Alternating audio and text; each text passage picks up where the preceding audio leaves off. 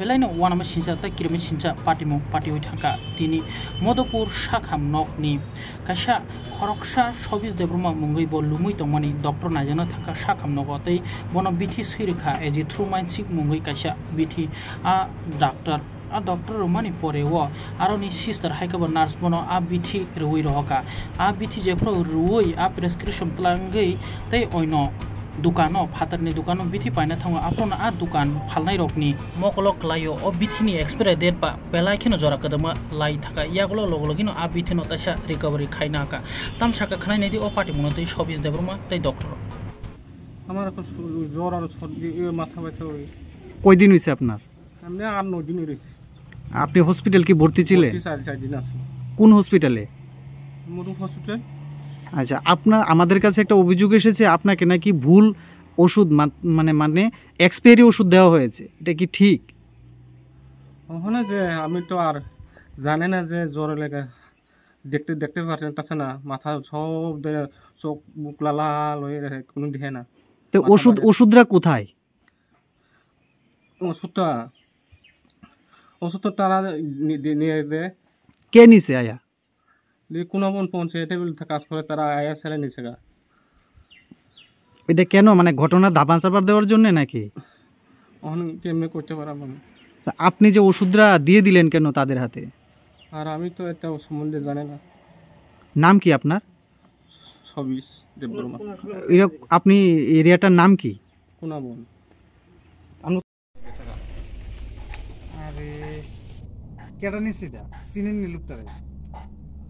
পঞ্চায়েত মিলে যায় চিনবা। পঞ্চায়েত আছে? তেনেকে মেম্বাৰ না পোৱা ওই একটা পঞ্চায়েত মিলে একটা স্বাস্থ্য মেম্বার একটা আছে না হ্যাঁ হ্যাঁ হ্যাঁ।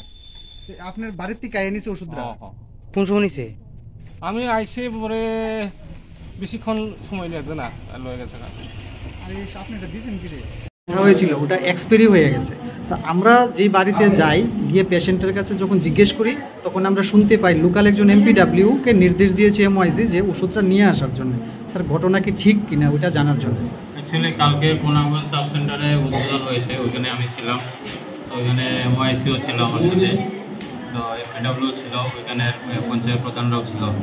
তখ- তখনই খবরটা আমি পাই যে আমাকে ওইখানে কত মধুপুরে এমআইসি আমাকে ইনফরমেশন দেয়। ট্যাবলেটটাও আমাকে দেখায়। ওটা, ওই অগাস্ট দুই হাজার তেইশে এক্সপায়ারি ডেট ছিল। পেশেন্টটা ভর্তি ছিল, যখন ছুটি হয়, তখন সিস্টার যে অন ডিউটি ছিল, উনি উনি ঠিক মতো দেখেন নাই, না দেখে দেওয়া হয়েছে।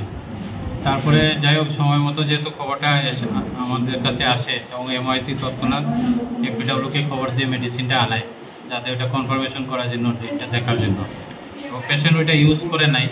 তো সাথে সাথে আমরা মেডিসিনটা ডিসকার্ড করে নতুন মেডিসিন দিতে বলেছি। উনি তো বলেছে ওষুধরা মানে খাইয়েছে একদিন একদিন চলেছে। মানে পাঁচ দিনের ছিল কোর্সটা না অ্যাকচুয়ালি ওটা অগাস্টের এক্সপায়ারি ছিল এখন সেপ্টেম্বর চলছে। তো এক মাসে যদি কোনো কারণে অ্যাক্সিডেন্টালি হয়েছে ঘটনাটা আর একটা দুইটা ট্যাবলেট যদি খেয়েও থাকে ওইটাতে কোনো সাইড এফেক্ট হবে না। এফেক্টটা কম হবে। সাধারণত আমরা যে অন ডিউটি সিস্টার আছেন ওনাকে আমি শোকজ করেছি কী জন্য ব্যাপারটা হয়েছে। মেডিসিন যখন দেওয়া হয় ডিস্ট্রিবিউট করা হয়, তখন এক্সপায়ারি ডেট দেখেন, দিয়ে দেখে দেওয়া উচিত। তো ওইটা সিস্টারের ভুল। সিস্টার কাজটা ঠিক মতো করে নাই। সেই জন্য আমরা পদক্ষেপ নিচ্ছি পদক্ষেপ নেব। আমি সিস্টারকে অলরেডি শোকজ করেছি এবং এমআইসিকে বলেছি যাতে নেক্সট টাইম এই ধরনের ঘটনা না হয়